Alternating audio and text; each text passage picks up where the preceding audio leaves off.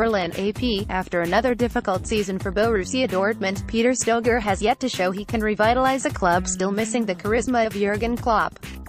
Despite stabilizing the team after taking over as coach from the fired Peter Bosz in December, Stöger has come in for criticism for some lifeless performances. Last weekend's Ruhr Derby defeat to Schalke and Gelsenkirchen increased the pressure ahead of another potentially decisive clash on Saturday when Bayer Leverkusen visits.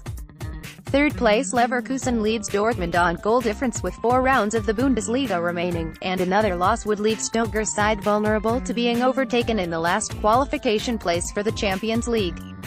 Article continues, below. Stöger's contract is up at the end of the season. The Austrian's tenure will be judged on reaching Europe's top competition, but even finishing among the league's top four may not be enough to convince Dortmund's management to keep him. We have these four games left. It's about the Champions League and focusing on that, not on individuals. Stöger said this week, the club has time to react. I'm not making any pressure, not making any stress. We get to the Champions League everything is fine, regardless of how it carries on. Stöger was criticized for his demeanor during Sunday's defeat in Gelsenkirchen, where he suffered in comparison to Schalke's Domenico Tedesco. Tedesco was animated on the sideline, urging his team on, and he joined fans to celebrate the derby win. Stöger, in contrast, showed little passion as he watched glumly with his hands in his pockets. Many fans still fondly remember the passion of Jurgen Klopp on the sideline as Dortmund won back-to-back -back titles in 2011 and 2012. It's been two months since Dortmund won back-to-back -back games.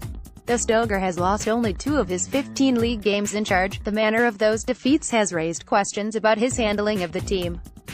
Dortmund's meek showing in Munich, where the side was routed 6-0 by Bayern, and the 2-0 loss to Schalke showed there is still much work to be done before the team can think of challenging for the title again. But Stöger defended his side's will to win in Gelsenkirchen.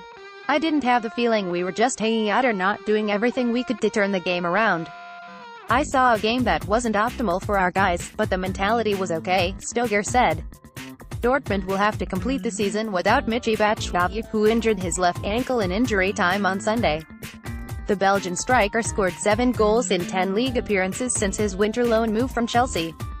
Alexander Isak is an option for up front, Stöger said of the 18-year-old Swede perhaps also one of our fast wingers like Marco Reus. We have enough options to play in this area. While Dortmund has been floundering, Leverkusen appears to have found its best form at the right time in impressive wins over Leipzig and Eintracht Frankfurt.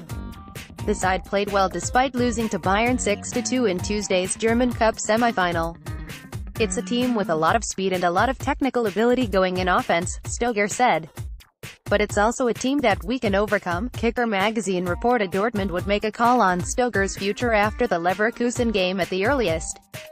The following fixtures are at Werder Bremen, then Mainz at home, and ending at Hoffenheim. Nice coach Lucien Favre, whom Dortmund tried to sign last summer, is an option again, or the club could ask Stöger to stay for another season so that Hoffenheim's Julian Nagelsmann could take over in 2019, Kicker reported. In the meantime, Stöger's future is